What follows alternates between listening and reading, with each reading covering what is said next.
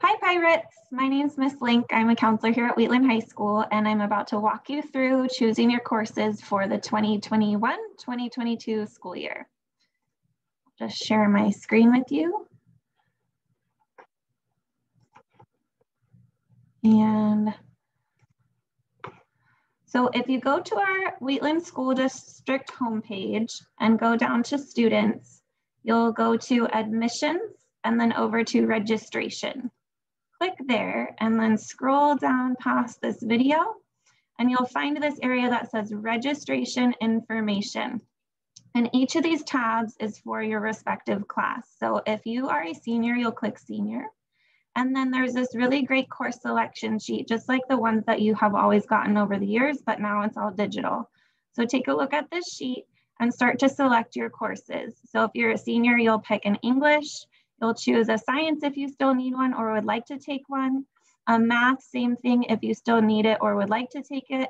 PE, and then you'll take either your econ and civics or your US government and politics. So you'll take econ either way, and then you choose to either take the civics or that AP US Gov. In addition to that, all of your electives are on the right.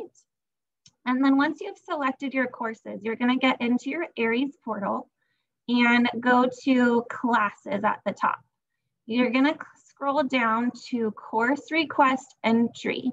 And this is where you'll come in here and you'll type the number. So if I'm choosing English 4, I type 0027, English 4 comes up.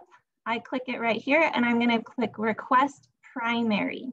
Now remember, you're going to request at least seven courses and then two additional electives. So for an alternate elective, you will pick request alternate instead of request primary. And those will get saved down here under alternate course requests so that if a class that you've selected is unavailable, we can add that to your schedule.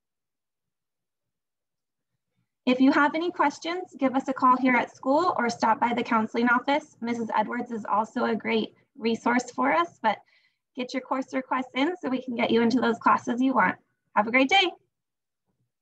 Good.